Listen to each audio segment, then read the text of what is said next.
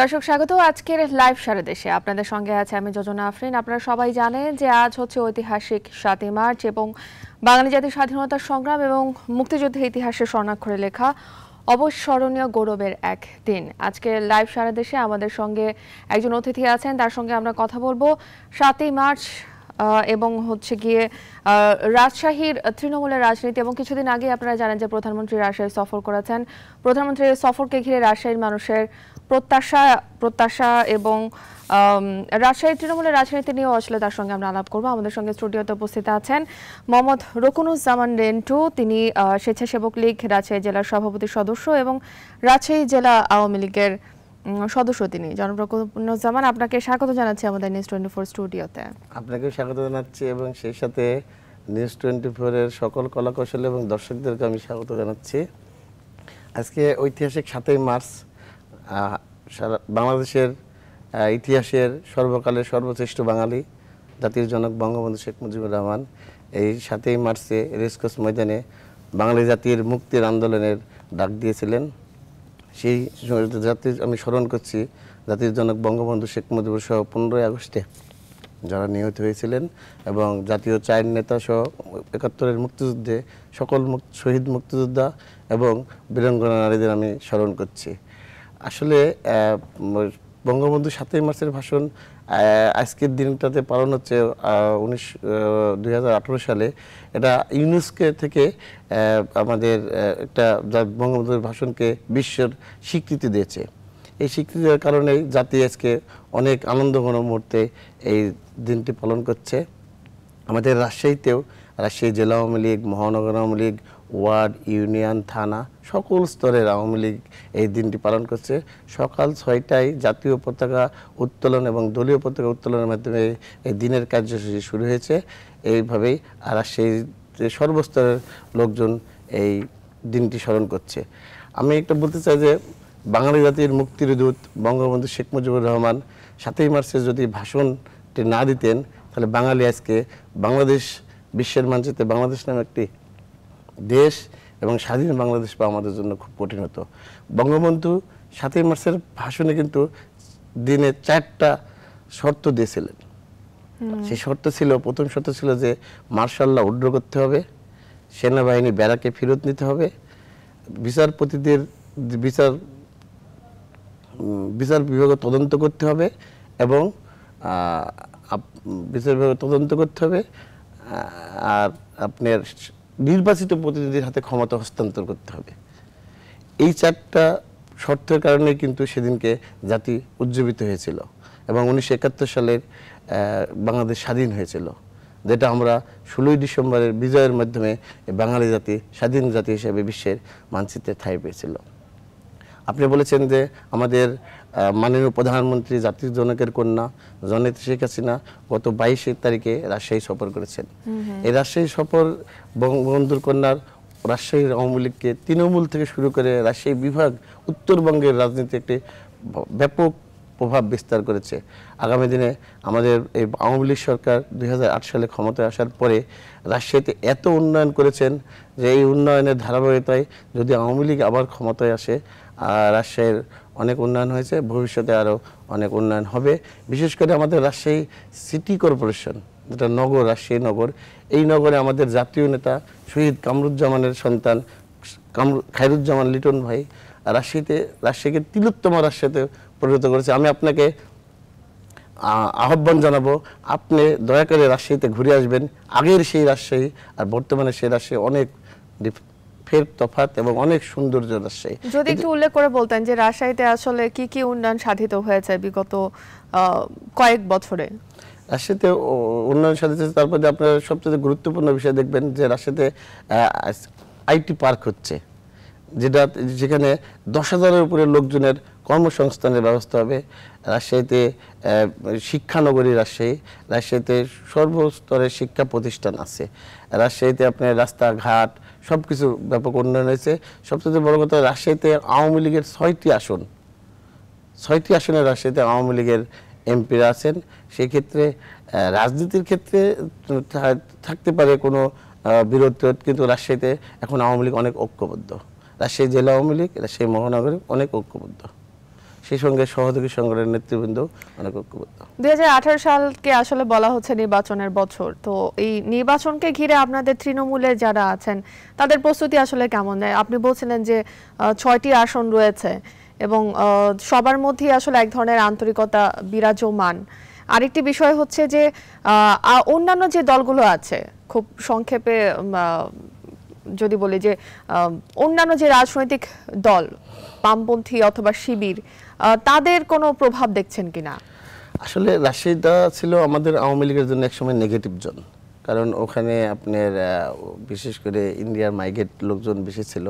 সেই ক্ষেত্রে বঙ্গবন্ধুর কন্যা জননেত্রী শেখ হাসিনা ছিয়ানব্বই সালে সরকার গঠন করার পরে রাজশাহী বিশ্ববিদ্যালয় শিবিরের একটি সবাই জানতো রাজশাহী বিশ্ববিদ্যালয় শিবিরের আঁকড়া, যাকে বলে। কিন্তু সেখান থেকে ছিয়ানব্বই সালের শিবির মুক্ত করা হয়েছে। তারপরে দুই হাজার এক সালে যখন বিএনপি ক্ষমতায় আসে, তখন কিন্তু আবার শিবিরের উৎপাত রাজশাহীতে অনেক বেড়ে গেছিল।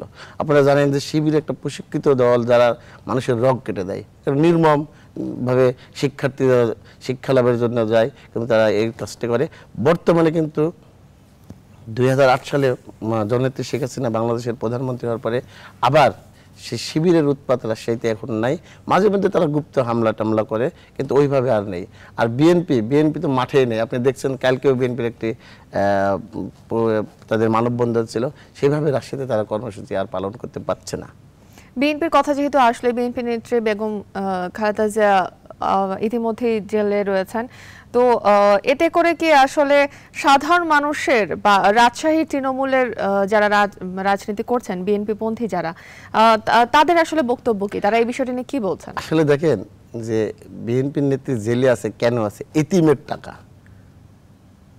এতিমের টাকার আত্মসাতের দায় কিন্তু উনি জেল খাটছে। এখানে সাধারণ মানুষের মধ্যে কি ধারণা হবে? এতিমের টাকা যে মারতে পারে, তার প্রতি মানুষের কোনো সিম্পিতি আসার কথা আছে? আসলে আসা উচিত বা হয়। উনি একজন দলের নেত্রী, কিন্তু ওনার ছেলে তারেক রহমান ওনার যে মানে অত্যাচার, অনিচার সেই আহ্বাবন এই ক্ষেত্রে আমার মনে হয় না যে মানুষের সেই সিম্পিতিটা তার প্রতি আর কাজ করছে। কারণ দেখেন, বিএনপি নেত্রী যেদিনকে জেলখানায় গেলেন, সেদিন বাংলাদেশে কিন্তু একটা পটকা, ককটেল বোমাও ফোটে নাই। একটা বাসে কিন্তু একটা ঢেলও মারা হয় নাই। কেন? নিশ্চয়ই ওনার মানুষের ওনার প্রতি মানুষের সেই সিম্পিতির জায়গাটা আর কাজ করছে না। কারণ বাংলাদেশে এত ব্যাপক উন্নয়ন করেছে বাংলাদেশের মাননীয় প্রধানমন্ত্রী জ্যেষ্ঠ শেখ হাসিনা। এই উন্নয়নের কারণে মানুষ আর সেই জ্বালাও পোড়া পছন্দ করছে না। এবারে একটু উন্নয়নের প্রসঙ্গে যদি আবারও আসি, সেটি হচ্ছে গিয়ে আওয়ামী লীগ যদি আবার ক্ষমতায় আসে, আপনারা যদি আবার ক্ষমতায় আসেন, তাহলে রাজশাহীর মানুষের কোন কোন স্বপ্নগুলো আসলে আপনারা পূরণ করবেন? রাজশাহীর মানুষের স্বপ্ন, অনেকগুলো ইতিমধ্যে আমাদের প্রধানমন্ত্রীর নেতৃত্বে পূরণ হয়েছে। আর রাজশাহীতে সারা বাংলাদেশে, শুধু রাজশাহী না, সারা বাংলাদেশে কিন্তু জননেত্রী শেখ হাসিনা একটা ভীষণ দিয়েছেন। ইতিমধ্যে বাংলাদেশ কিন্তু মধ্যমায়ের দেশের দিকে প্রায় কাছাকাছি চলে গেছে। আর জননেত্রী শেখ হাসিনা যদি ক্ষমতায় আসে, আমরা মনে করি যে উত্তরবঙ্গের, দেখেন যে বঙ্গবন্ধু রেল সেতু এটা কিন্তু ইতিমধ্যেই বাস্তবায়ন করার জন্য জননেত্রী শেখ হাসিনা আমাদের প্রতিশ্রুতি দিয়েছে। ওটা যদি হয়, তাহলে আমাদের রাষ্ট্রের লোকজনের জন্য অনেক রাজশাহী কিন্তু বিশেষ করে কৃষি নির্ভরশীল রাজশাহী অঞ্চলের। সেক্ষেত্রে আমাদের একটি জাতীয় সম্পদ আছে যে আম, যারা সারা বাংলাদেশ অথবা পৃথিবীতেও ন্যাশনালি, ইন্টারন্যাশনালি কিন্তু এটা জনপ্রিয়। সেই দিক দিয়ে আমি মনে করি যে আমকে একটি ভালো ইয়ে করার জন্য জননেত্রী শেখ হাসিনার সরকার আরও ভালো উদ্যোগী হবেন এটাই আমি আহ্বান জানাব। আর রাজশাহীতে আপনার আহ, চিনিকল জু- জুট মিল তারপরে সব কিছুই আছে এগুলো আমাদের রাজশাহীর উন্নয়নের জন্য ভবিষ্যতে ভালো কাজ দেবে। এবার একটু অন্য প্রসঙ্গে আসি যে রাজশাহীর পর্যটন স্থানগুলো সম্পর্কে আপনার কাছে একটু জানতে চাই। রাজশাহীতে অনেক ঐতিহাসিক পর্যটন স্থান আছে যেমন আমাদের আপনার ধর্মীয় দৃষ্টিকোণ থেকে অর্থাৎ শাহ মকদুম রহমতুল্লাহের মাজার যেটা রাজশাহীতে আছে রাজশাহীতে আপনার রাজশাহী বিশ্ববিদ্যালয়ে একটা পর্যটন স্থান আছে রাজশাহীতে আপনার পর্যটনের দিক দিয়ে একটু আমরা পিছিয়ে আছি, কারণ রাজশাহীতে কিন্তু কোনো three star four star five star hotel নাই। এটা কিন্তু অত্যন্ত জরুরি। এটা আমরা আহ্বান জানাব মাননীয় প্রধানমন্ত্রীর কাছে বা আওয়ামী লীগ সরকারের কাছে রাজশাহীতে এরকম একটা ব্যবস্থা করা হয়। কারণ রাজশাহীতে স্টেডিয়াম আছে দুইটা। কিন্তু ইন্টারন্যাশনাল কোনো ম্যাচ রাজশাহীতে এখন হয় নাই। আমাদের এটাই দাবি যে আমরা যেন ভবিষ্যতে রাজশাহীতে আন্তর্জাতিক মানে ক্রিকেট খেলার জন্য যে প্রয়োজনীয় দরকার, সেই প্রয়োজনগুলো যেন আমাদের মাননীয় প্রধানমন্ত্রীর নেতৃত্বে আগামীতে এটা পূরণ করা হয়। অসংখ্য ধন্যবাদ আমি একটা জিনিস জানাব রাজশাহী বিমানবন্দরকে আন্তর্জাতিক বিমানবন্দরে রূপদানের জন্য আমি মাননীয় প্রধানমন্ত্রীর কাছে আহ্বান জানাব। আচ্ছা অসংখ্য ধন্যবাদ। এবারে আমরা একটু সমকালীন রাজনীতির বিষয়ে আলাপ করতে চাই। সেটি হচ্ছে যে উদার মনের শিক্ষকরা আসলে কেন টার্গেটে আছেন? হুমায়ুন আজাদ ডক্টর ইউনুস এস তাহের শফিউল ইসলাম রেজাল করিম হত্যায় আসলে জঙ্গিদের সংশ্লিষ্টতার বিষয়ে একটি কথা উঠে আসছে। এই বিষয়ে আপনার কাছে একটু জানতে চাই। আমি ঘৃণার সহিত বলতে চাই, যে আমাদের একজন জাতীয় শিক্ষক, সবার শ্রদ্ধীয় শিক্ষক, ডক্টর জাফর ইকবাল প্রতি যে নির্মমভাবে মানে তাকে আঘাত করে আক্রমণ করা হয়েছে, এটা জাতির জন্য অত্যন্ত দুঃখজনক। এইভাবে যদি দেখেন হুমায়ুন আজাদ স্যারকে যেভাবে ঢাকা বিশ্ববিদ্যালয়ে মানে তাকে আঘাত করে হত্যা করা হলো, এগুলো আসলে আমরা জাতি হিসাবে অত্যন্ত কষ্টদায়ক আমাদের জন্য যে কেন? আমরা মনে করি যে জুঙ্গি যে ছেলেটা আহ, এই জাফর ইকবাল স্যারকে আঘাত করেছে সে ছেলেটা পড়াশোনা তার ফ্যামিলি ব্যাকগ্রাউন্ড তার দুইটা চাষা কুয়েতে তাদের দ্বারা সে মোটিভেটেড হয়েছে। হয়ে তারা ধর্মান্ধ। আসলে আমাদের ধর্মে কি আছে যে কাউকে আঘাত করা কাউকে হত্যা করা এটা তো মহাপাপ। কিন্তু তারা এটা না বুঝে আমাদের এই কিছু লোকজন ধর্মান্ধ যেমন আমাদের উত্তরবঙ্গে কিন্তু এটা আছে যে আপনার জঙ্গি শিবির জামাতের লোকজন কিন্তু এটা মোটিভেশন করছে। দেখেন আমাদের চাঁপাইনবাবগঞ্জ, গাইবান্ধা, বগুড়া জয়পুরহাট, এইসব জায়গায় ধরেন একদম নির্ভীত পল্লীর যারা নিডি ফ্যামিলির ছেলে পেলে, তাদের কিন্তু প্রথমে টার্গেট করা হচ্ছে। তাদেরকে এমনভাবে টার্গেট করা হচ্ছে, তাদের বলা হচ্ছে যে তুমি যদি জাফর ইকবাল, স্যার, তাকে বলা হচ্ছে যে নাস্তিক, তাকে তুমি আঘাত করলে তুমি বেহেস্তে পারবে আসলে কি এটা সম্ভব? কাউকে হত্যা করে, কাউকে আঘাত করে, কাউকে মেরে কোনোদিনও কোনো ধর্মের সে নাই। হ্যাঁ ভালোবাসা ধর্মের শিক্ষায় শিক্ষিত করে, প্রকৃত শিক্ষায় শিক্ষিত করে যদি মানুষকে ইয়ে করা যায়। কিন্তু এইভাবে যেভাবে আপনার জঙ্গি তৎপরতা বৃদ্ধি পাচ্ছে, এটা আসলে আমাদের জন্য, জাতি হিসাবে, বাঙালি জাতি হিসাবে আমাদের জন্য খুব কলঙ্কজনক। তবে একটা জিনিস, বাংলাদেশে কোনো কোনো জঙ্গি এই বর্তমান সরকার, বর্তমান সরকারের প্রশাসনকে আমি ধন্যবাদ জানাই, তারা যেভাবে এটা মোকাবেলা করছে জঙ্গি বাংলাদেশে আমার মনে হয় যে একদম তৃণমূল থেকে এটা উৎখাত হয়ে যাবে। অসংখ্য ধন্যবাদ মোহাম্মদ রকুনুজ্জামান রিন্টু এতক্ষণ আমাদেরকে সময় দেওয়ার জন্য। আপনাকে ধন্যবাদ যে আমার মতো একজন মানুষকে আপনারা এই টিভিতে আইনে আমাকে জাতির উদ্দেশ্যে কিছু বলার সুযোগ করে দিয়েছেন। এই জন্য আপনার নিউজ টোয়েন্টি ফোর এবং আপনাকে অসংখ্য ধন্যবাদ। সেই সাথে সারা জাতিকে আমি ধন্যবাদ জানাই। আসসালামু আলাইকুম। দর্শক লাইভ সারা দেশে এ পর্যায়ে নিচ্ছে একটি বিরতি। ফিরছি একটু পর।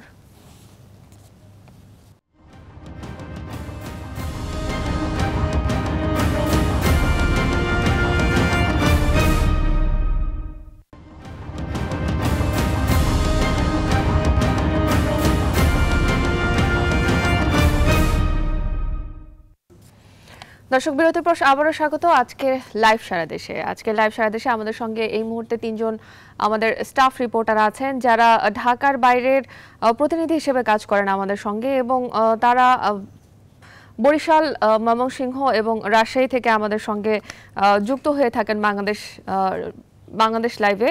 এবং হচ্ছে কি আজকে উপস্থিত আছেন তারা আমার আমাদের সাথে স্টুডিওতে। প্রথমেই আমার হাতের ডানে রয়েছেন বরিশাল থেকে আমাদের সহকর্মী রাহাত খান এবং তারপরে আছেন ময়মনসিংহ প্রতিনিধি আমাদের সৈয়দ নেমান এবং আমাদের, আমার বাম হাতে রয়েছেন রাজশাহীর প্রতিনিধি কাজী শাহেদ। আপনাদের তিনজনকে স্বাগত জানাচ্ছি টোয়েন্টি ফোর আজকে স্টুডিওতে। শুরুতে কথা বলব আমাদের বরিশাল প্রতিনিধি রাহাত খানের সঙ্গে। আপনি তো আমাদের সঙ্গে লাইভ সারা দেশে প্রায় যুক্ত হন। তো এই মুহূর্তে বরিশালের রাজনীতির বিষয়ে আপনার কাছ থেকে একটু জানতে চাই। জি, ধন্যবাদ আপনাকে। আসলে বরিশালের রাজনীতি সবসময়ই একটি সহাবস্থান মানে দুটি বৃহত্তর রাজনৈতিক দল, বিশেষ করে তারা আসলে তাদের মতো করে রাজনীতি করে যাচ্ছে এবং প্রত্যেকটি দলেরই যে বলা হয় যে রাজনীতি তারা মানুষের কল্যাণে করেন এবং ওই অঞ্চলের উন্নয়নের জন্য করেন। এই উন্নয়নের আব- আবার একটি বিষয় আছে যে একটি দল মানে এখানকার শীর্ষ নেতারা, আমরা বিভিন্ন সময় শুনে থাকি যে এই উন্নয়নের দাবি দাবিদার আসলে। আমরা এটা করেছি, আবার তারা বলছে এটি মানে আমরা করেছি।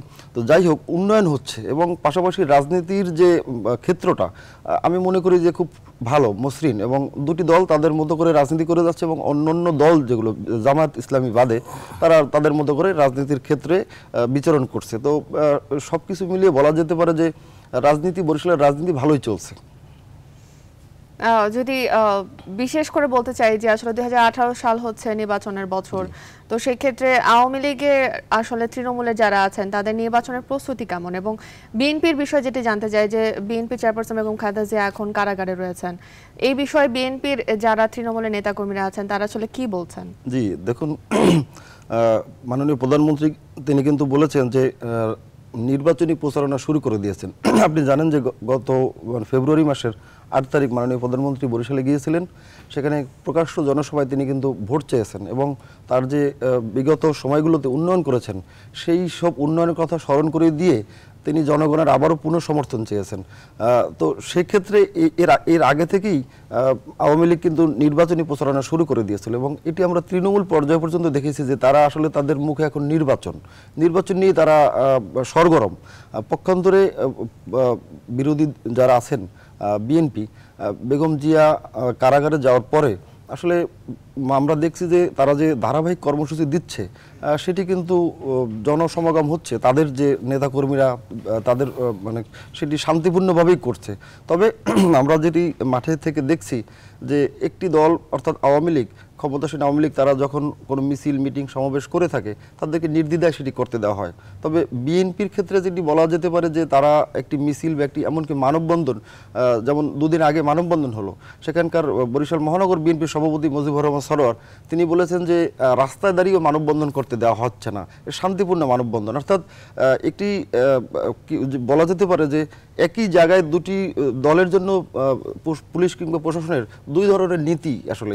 এখন কখনো পুলিশ বলে থাকে যে তারা মানে সন্ত্রাসী কর্মকাণ্ড করতে পারে, নাশকতা করতে পারে। কিন্তু নাশকতা করার মধ্যে কোনো ক্ষেত্র আসলে সেখানে দেখছি না। আমরা যে, যারা মাঠে থাকি বলা হয়ে থাকে যে নাশকতা হতে পারে। এখন এর পিছনে যদি নাশকতা আপনারা ঠেক, ঠেকে দিতে পারেন, কিন্তু এই নাশকতার কথা- বলে বিএনপিকে মাঠে নামতে দেওয়া হয় না। এখন শান্তিপূর্ণ কর্মসূচি যদি না করতে পারে, তাহলে তারা করবে রাজনীতি করবে কোথায়? সেই ক্ষেত্রে আমি মনে করি যে, রাজনীতির মাঠ ভালোই চলছে, তবে পুলিশ কিংবা প্রশাসনের আহ, এক্ষেত্রে একটু নিরপেক্ষতা দরকার কারণ সবার জন্য সমান অধিকার। আপনি যেটা বলছিলেন যে বিএনপি নেতাকর্মীদের আসলে মাঠে নামতে দেওয়া হচ্ছে না এই দাবিটা কি আসলে বিএনপি নেতাকর্মীদেরই? আসলে তারা তো বলেই আসছে আর আমরা যারা সংবাদকর্মী সংবাদ সংগ্রহ করি আমরা আমরা নিজেরাও দেখছি। এবং শুধু তাই নয় যে বড় ধরনের কোনো কর্মসূচি আসার আগে আমরা দেখছি যে পুলিশ নেতাদের বাসায় বাসায় গিয়ে রেড করে। এখন এর অর্থ হচ্ছে তাদেরকে ভয় দেখায়। তোমরা দূরে থাকো বা পালিয়ে যাও। এ ধরনের একটা বার্তা তাদেরকে পুলিশ প্রশাসন থেকে দেওয়া হচ্ছে যে যাতে তারা রাজনীতির ক্ষেত্রে বিচরণ করতে না পারে। অসংখ্য ধন্যবাদ রাহাত খান। এবারে আমরা একটু যাব আমাদের ময়মনসিংহ প্রতিনিধি সৈয়দ নোমানের কাছে। সৈয়দ নোমান আপনার কাছে একই প্রশ্ন যে আহ, ময়মনসিংহের তৃণমূলের রাজনীতির এখন কি অবস্থা? রাহাত যেমনটি বলছিলেন যে সহাবস্থান ময়মনসিংহে একসময় সহাবস্থান ছিল। আমরা দেখেছি বিএনপিও রাজপথে নামতো আওয়ামী লীগও রাজপথে নামতো। তো আমরা এই গত ছয়টি মাস যাবত আসলে লক্ষ্য করছি যে বিএনপি একেবারেই মাঠে দাঁড়াতে পারছে না। যদি বলি পুলিশের কথা হ্যাঁ পুলিশ, আমি কয়েকদিন আগে একটি রিপোর্টও করেছি, যেখানে কিন্তু বিএনপি যে মহানগর বিএনপি জেলা বিএনপি তারা কিন্তু এক বাক্যে স্বীকার করেছে যে আসলে আমরা রাজপথে দাঁড়াতে পারছি না। বিশেষ করে খালেদা জিয়া আটক হওয়ার পর থেকে এখন পর্যন্ত আমি গত এই মানববন্ধন যেটা বলি, সেটাতে দাঁড়িয়েছে, কিন্তু আসলে একজ্যাক্ট স্পটটা কোথায় সেটা আমরা এখন জানি না। তো বিভিন্ন রাজপথে ওইভাবে নাম নামতে পারলেও বিভিন্ন জায়গায় তারা কর্মসূচি করার চেষ্টা করে। আর জেলা আওয়ামী জেলা বিএনপির যে সাধারণ সম্পাদক আছেন আবু হাওয়াকন্দ কয়েকদিন আগে তিনি আটক হয়েছিলেন, জামিনে মুক্তিও পেয়েছেন। কিন্তু আসলে এরপর থেকেই বিএনপির মধ্যে একটা ভীতি কাজ করছিল, যে রাজপথে যে তার নামলেই আটক হচ্ছে না এবং তাদের আরেকটা বিষয় যেটা হচ্ছে, সেটা হচ্ছে যে তারা গুলি গুলি করছে পুলিশ। তো গুলির ভয়েও আসলেও বিএনপি রাজপথে নামতে পারছে না। তো সব মিলিয়ে আসলে আগে যে একটা সহাবস্থান ছিল, সেই সহাবস্থানটা এখন ময়মনসিংহে আসলে নেই। এবং আমি বলব যে শুধু রাজপথে আওয়ামী লীগই আছে। বিএনপি কোনো অবস্থাতেই নামতে পারছে না। এক্ষেত্রে একটি বিষয় যে বর্তমান যে বিরোধী দল রওশন এরশাদের আসন হচ্ছে হ্যাঁ। তো সেই হিসেবে জাতীয় পার্টির কতটা প্রভাব রয়েছে আসলে ময়মনসিংহ? আসলে জাতীয় পার্টি ওইভাবে দৃশ্যমান কোনো প্রভাব নেই এবং সরকারের যদি বিরোধী দলের কথা বলেন ওইভাবেও কোনো প্রভাব নেই। যিনি বিরোধী দলের নেত্রী যখন ময়মনসিংহ আসে, তখন আমরা একটু জাতীয় পার্টিটাকে একটু চাঙ্গা দেখতে পাই এবং জাতীয় পার্টি যদি মহানগর কমিটি বলেন, জেলার কমিটি বলেন, তাদের সাথে আসলে আমাদেরও একটি বিস্তর একটি গ্যাপ রয়েছে। তারা ওইভাবে আমাদের সাথে যোগাযোগ করছেন না। আমাদের আমরা যারা সাংবাদিকতা করি তৃণমূল পর্যায়ে, তাদের সাথে ওইভাবে যোগাযোগ রক্ষা করছেন না। অথবা যদি বলেন আপনার রাজপথের যে কর্মসূচিগুলো আছে, কোনো কর্মসূচিতেও তারা নামতে নাম- নামছে না, ইচ্ছা করেই নামছে না। আমরা দেখেছি খুব কাছ থেকে। আচ্ছা অসংখ্য ধন্যবাদ। আপনার কাছে আবারও আসব অন্য প্রসঙ্গ নিয়ে কথা বলতে। এবারে সমকালীন রাজনীতি নিয়ে আরও আসলে কথা বলব এবং এবারে কথা বলব আমার বাবা রয়েছেন রাজশাহীর প্রতিনিধি কাজী সাহেব। কাজী সাহেব আপনাকে স্বাগত নিউজ টোয়েন্টি ফোর স্টুডিওতে। আমরা আপনি গতকাল বলছিলেন যে আসলে রাজশাহীতে বিএনপি মাঠে নামতে পারছে না এবং আওয়ামী লীগের বেশ প্রভাব রয়েছে। এই বিষয়ে আরও একটু জানতে চাই আজকে আপনার কাছ থেকে। মাঠে নামতে পারছে না বলতে আমাদের সাবেক মানে আমাদের যে দুই সহকর্মী যেভাবে বলছিলেন যে তাদের অঞ্চলের যে অবস্থা রাজশাহী কিন্তু তার বিপরীত না, একই রকম। এর কারণটি হলো যে, গত যে নির্বাচনটি হয়ে গেছে দুই হাজার চোদ্দ সালের পাঁচ জানুয়ারির যে নির্বাচন, এরপর থেকে আইনশৃঙ্খলা বাহিনীর যে দৌরত্ব আমরা একরকম বলতেই পারি যে, বিরোধী দলীয় নেতাকর্মীদের উপরে যেভাবে এক ধরনের কার্যক্রম চালানো হয়েছে, এতে করে বিএনপি তো মাঠে নামতে পারছে না। আর আপনি নিশ্চয়ই জানেন যে, রাজশাহী অঞ্চলটি কিন্তু জামাত শিবির অধ্যুষিত বলা হয়। সেখানে কিন্তু জামাত শিবিরের একটি প্রভাব ছিল।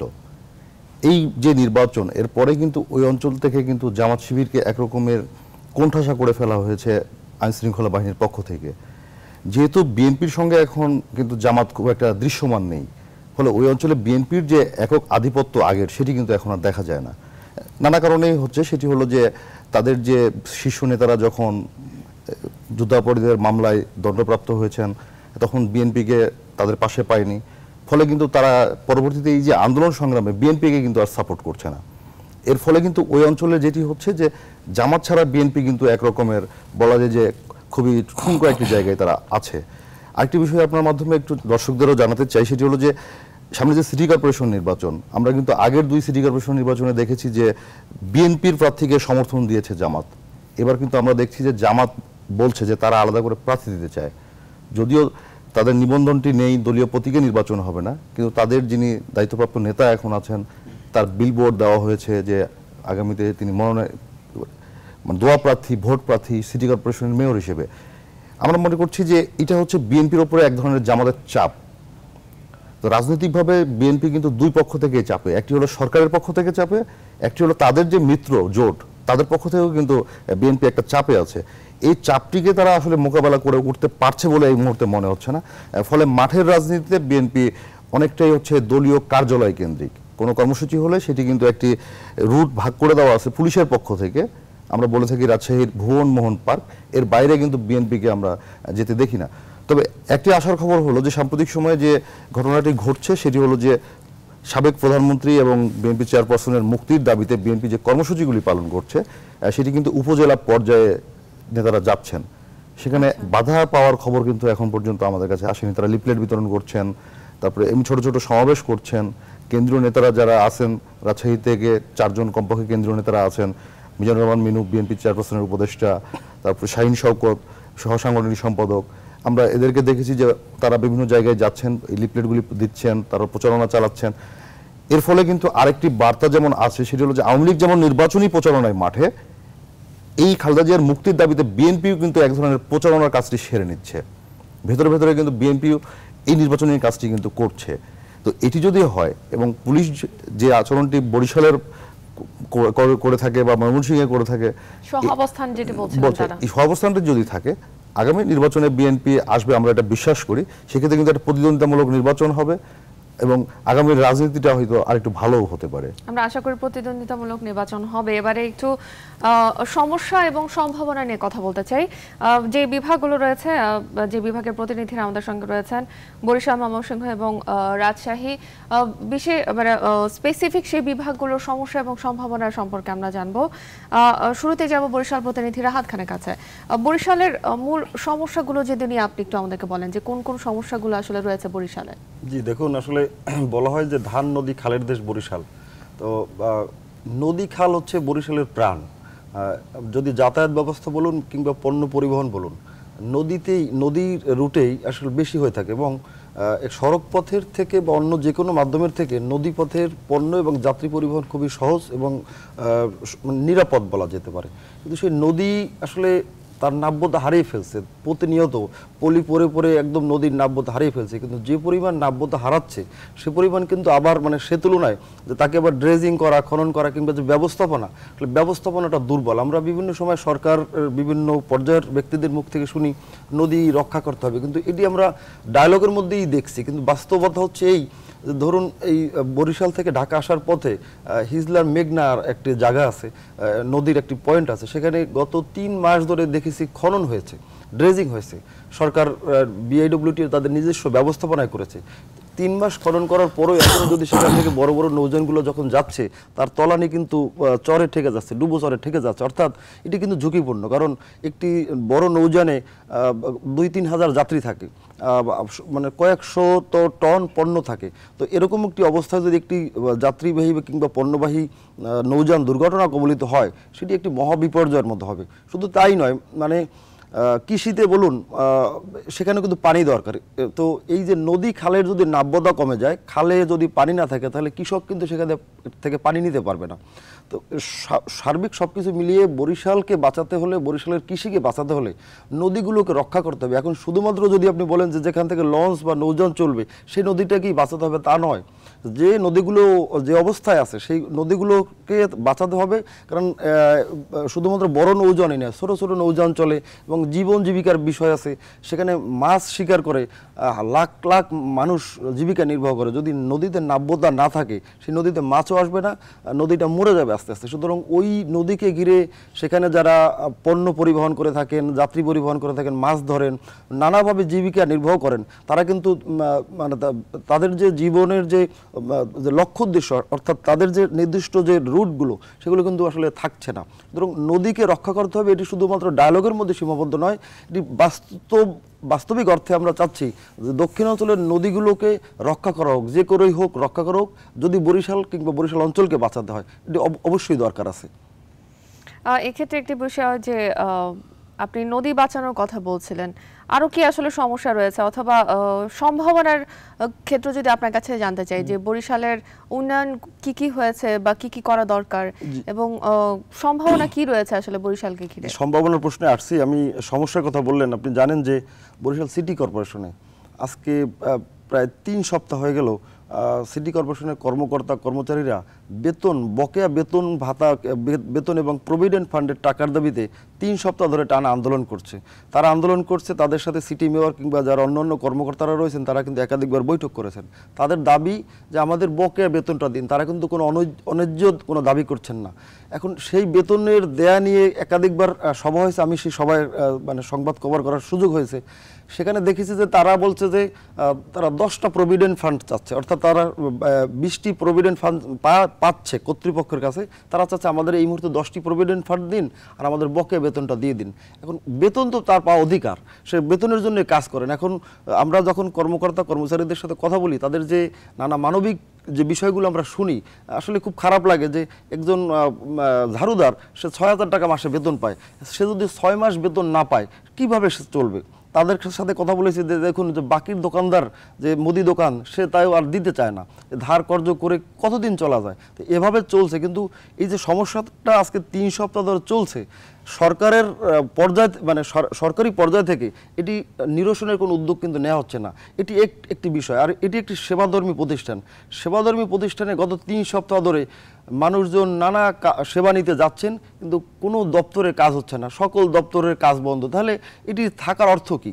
এটি কি সরকার মহোদয় দেখছেন না? সরকার মহোদয় এটি- দেখছেন যদি, তাহলে এটি সমাধান করছেন না কেন? এটি কাকে কষ্ট দিচ্ছেন, কাকে ভালো পাচ্ছেন? বিষয়টা হচ্ছে যে সার্বিক যে বিষয়টা, কর্মবিরতির ফলে জনগণ ক্ষতিগ্রস্ত হচ্ছে, তারা কোনো সেবা পাচ্ছেন না। তো এটি নিরসনের কোনো উদ্যোগ আমরা সেই অর্থে দেখছি না। আরেকটি বিষয় এখানে বলা যেতে পারে যে, আমরা শুনেছি যে সিটি কর্পোরেশনের যারা কর্মকর্তা রয়েছেন, তারা বলেছেন যে টাকা দিয়ে দেওয়ার বিভিন্ন পায় মানে মানে কি বলে যে পরামর্শ তারা দিয়েছেন সিটি মেয়রকে। কিন্তু সিটি মেয়র সেটি দিচ্ছেন না, কারণ কর্মচারীদের দাবি যে যথেষ্ট পরিমাণ রাজস্ব আদায় হয় কিন্তু সিটি মেয়র ঠিকাদারদের বিল দিচ্ছেন। ওদের দাবি যে বিল দিলে পার্সেন্টেজ পাওয়া যেতে পারে আর বেতন দিলে পার্সেন্টেজ আসবে না। সুতরাং আপনার কাছে কি মনে হয়? এই সমস্যার সমাধান আসলে কীভাবে সম্ভব? এই সমস্যার সমাধান সরকারের উচ্চ পর্যায় থেকে এটি হস্তক্ষেপ করতে হবে কারণ এখানকার যে যিনি সিটি মেয়র আপনি জানেন যে তিনি বিএনপি রাজনীতিক। আর যারা আন্দোলন করছেন সেখানে আওয়ামী পন্থী যে সংগঠনগুলো রয়েছে মূলত তারাই পিছনে নেতৃত্ব দিচ্ছে।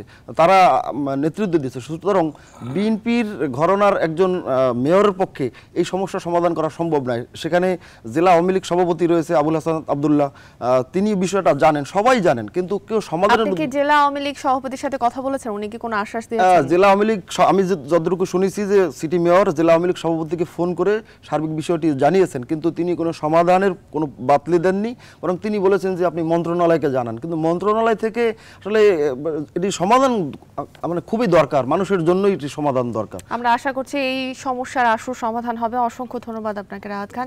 এবারে যাব ময়মনসিংহ প্রতিনিধি সৈয়দ নোমানের কাছে। আপনার আমরা হচ্ছে ময়মনসিংহের বিশেষ সমস্যাগুলো সম্পর্কে শুরুতে একটু জানতে চাই। দেখুন সমস্যা কিন্তু আসলে শেষ নেই।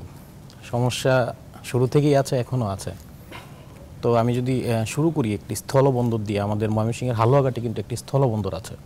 দুটি স্থলবন্দর আছে যেখানে আসলে কয়লা আমদানি হয়। এবং এই কয়লাগুলো কিন্তু সারা বাংলাদেশে এই হালুয়াঘাট থেকে যায় এবং হালুয়াঘাটের কয়লার একটা কিন্তু বিশেষ সুনাম রয়েছে। তো এই মাঝখানে আমরা শুনেছি যে সিলেটে, সিলেট থেকে একটা কালো পাথর কয়লা আসতেছে যেটা আসলে খুবই নিম্নমানের এবং ওটার দাম কম হয়, সবাই ওইদিকেই ঝুঁকছে। তো আসলে এখানে যে দুটো বন্দর আছে, এই দুটি বন্দর থেকে কিন্তু তারা ব্যবসা করছেন দীর্ঘদিন যাবত তাদের কিন্তু একটি, তাদের একটি মনের ভিতরে ক্ষোভ বিরাজ করছে এবং তারা বিভিন্ন সময় বিভিন্ন দাবি দাওয়া নিয়ে কথা বলছে, কিন্তু এরপরও সুরাহা পাচ্ছে না। আমি শুধু কয়লা না, এখানে কিন্তু আরও বিভিন্ন মশলা জাতীয় যে পণ্য যে ভারত থেকে আমদানি করার কথা, সেগুলো কিন্তু আমদানি করার কথা রয়েছে। কিন্তু কোনো কিছু আমদানি করা হচ্ছে না। শুধুমাত্র ভারত সরকার কিন্তু কয়লাগুলোই পাঠাচ্ছে ওই বর্ডার দিয়ে। তো আসলে এই হালুয়াঘাট আরেকটা বিষয় হচ্ছে যে আমাদের ময়মনসিংহ শহর থেকে যে হালুয়াঘাটে আমাদের যেতে হবে, সেই রাস্তাটা একেবারেই মানে সংকুচিত। একেবারেই সংকুচিত যার কারণে যে যখন আমরা কয়লার ট্রাকগুলো যাচ্ছে বড় বড়, সেই ট্রাকগুলো কিন্তু ওইভাবে ফ্রিলি মুভ করতে পারছে না। এক, আরেকটা হচ্ছে যে প্রায় এই, এই- সমস্যার কারণে প্রায় দুর্ঘটনাও ঘটছে। তো একটি দাবি ছিল স্থানীয়দের যে একটি ফোর লেন করার জন্য অথবা রাস্তাটা আরেকটু প্রশস্ত করার জন্য।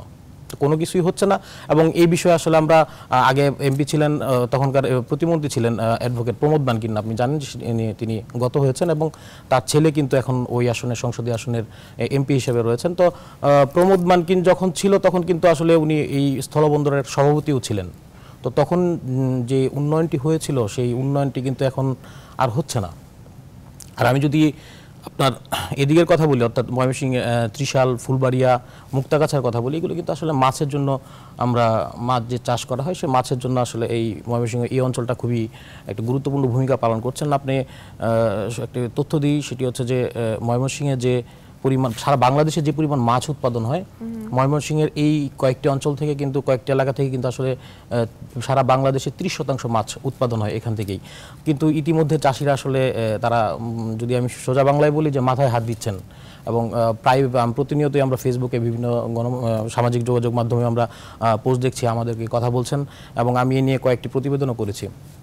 তারা যেমনটি বলছেন যে আপনার মাছের যে গুণগত মান মাছ খাদ্যের কারণে গুণগত মান কমে গিয়েছে আর পরিবহন একটা সংকট রয়েছে এবং আপনি ফোর লেন যেটি আমাদের ঢাকা ময়মনসিংহে যে ফোর লেন করা হয়েছে সবচেয়ে বড় সমস্যা আমাদের যেখানে যে পরিবহনের ক্ষেত্রে যে সমস্যাটা হচ্ছে যে মাছে পরিবহনের ক্ষেত্রে যে আমরা গাজীপুর পর্যন্ত আমাদের চলে আসতে হচ্ছে এক- ঘণ্টা থেকে শো এক ঘণ্টার মধ্যে আমরা চলে আসতেছি। কিন্তু গাজীপুর থেকে আসলে এদিকে অথবা অন্যদিকে যাওয়ার জন্য যে অবস্থা, সেটি পরে একবারে মানে থমকে যায়।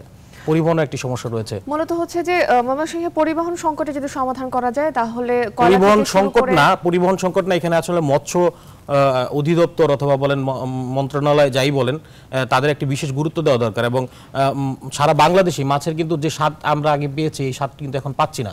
শুধুমাত্র নিম্নমানের খাবার শুধুমাত্র নিম্নমানের খাবার জন্য। আমি আমাদের আপনি জানেন যে বাংলাদেশ মৎস্য গবেষণা ইনস্টিটিউট কিন্তু ময়মনসিংহ অবস্থিত।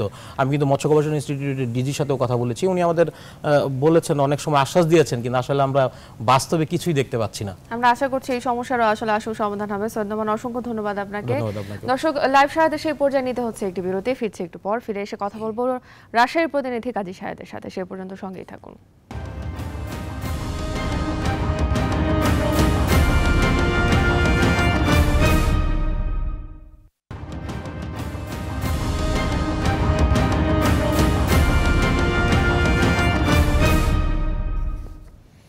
দর্শক, বিরতি পর আবার স্বাগত লাইভ সারা দেশে। আমরা কথা বলছিলাম আমাদের বিভাগীয় প্রতিনিধিদের সাথে এবং বিভাগগুলোর সমস্যা এবং সম্ভাবনা নিয়ে। এবারে কথা বলব রাজশাহীর প্রতিনিধি কাজী সাহেদের কাছে।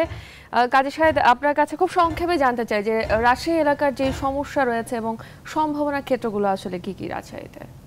সমস্যা তো অনেক। যেমন রাত ভাই বলছিলেন, তারা অঞ্চলের যে নদী খননের বিষয়টি, রাজশাহীর পদ্মা কিন্তু একটি প্রমত্তা নদী ছিল, সেটি কিন্তু এখন খুব বেহাল অবস্থা। পদ্মায় দিয়ে আগে জাহাজ চলাচল করতো, পণ্য পরিবহনের সুবিধা ছিল। এটি কিন্তু খননের দাবি কিন্তু স্থানীয় রাজনীতিবিদরা বহুদিন থেকেই করে আসছেন। এটি একটি বিষয়। আরেকটি সমস্যা যেটি, সেটা হলো নদীর ভাঙ্গন দিন দিন কিন্তু পদ্মার নদীর ভাঙনের কারণে কিন্তু রাজশাহীর যে মানচিত্রের জায়গাটি, সেটি কিন্তু কমে আসছে। কারণ এই আন্তর্জাতিক যে আইনটি আছে, সেটি হলো যে মাঝ নদী দিয়ে কিন্তু সীমানা নির্ধারণ করা হয়। তো ভারতের সঙ্গে আমাদের যেহেতু সীমানাটি আছে, এই অঞ্চলে বেশি ভাঙলে পারে সেটি কিন্তু আস্তে আস্তে ছোট হয়ে আসবে। তো রাজশাহীর মানচিত্রের দিক থেকে এই নদী ভাঙনটি কিন্তু খুবই প্রকট আকার ধারণ করেছে এবং ওই অঞ্চলের মানুষের জন্য খুবই দুর্ভোগের বিষয়। আরেকটি বিষয় হলো রাজশাহীর কিন্তু কৃষি প্রধান অঞ্চল। সেখানে কিন্তু প্রচুর সবজির উৎপাদন হয়। সেই সবজিগুলি রাজধানীতে আসে, রাজধানীর বাইরে অন্য জেলাগুলিতে যায়। এই যে সবজিগুলি সংরক্ষণের যে একটি বিষয়, কোনো কারণে যদি পরিবহন সবজিগুলি না করতে পারে, সেক্ষেত্রে সেগুলো যে রাখতে হবে, সে রাখার ব্যবস্থা কিন্তু ওখানে নেই। এই যে সমস্যাগুলি, তাছাড়া আরেকটি যে দাবি দীর্ঘদিন ধরে রাজশাহীর মানুষের, সেটা হলো কৃষি ভিত- বিশ্ববিদ্যালয়। আমরা বলছি যে রাজশাহী শিক্ষানগরী, যদিও রাষ্ট্রীয়ভাবে এই স্বীকৃতিটি কিন্তু এখনও দেওয়া হয়নি রাজশাহীকে। কিন্তু শিক্ষানগরী বলছি, শিক্ষার ক্ষেত্রে যে কৃষি বিশ্ববিদ্যালয় একটি ভূমিকা রাখতে পারে সেটি কিন্তু দাবি রাজশাহীর মানুষের আছে। সেটি যদি হয়, তাহলে ওই অঞ্চলটি শিক্ষার ক্ষেত্রে আরও এগিয়ে যাবে। অসংখ্য ধন্যবাদ আপনাকে। আসলে আমাদের সময় স্বল্পতার জন্য শেষ করতে হচ্ছে। আপনাদের সবাইকে ধন্যবাদ জানাচ্ছি। দর্শক, আজকে আমাদের সঙ্গে উপস্থিত ছিলেন আমাদের প্রতিনিধিরা, বিভাগের প্রতিনিধিরা। তাদের সবাইকে ধন্যবাদ জানাচ্ছি। তারা বলছিলেন তাদের বিভাগের সমস্যা এবং সম্ভাবনার ক্ষেত্রগুলো নিয়ে। এই ছিল আজকের লাইভ সারাদেশের আয়োজন। এতক্ষণ যারা সঙ্গে ছিলেন, তাদের সবাইকে ধন্যবাদ।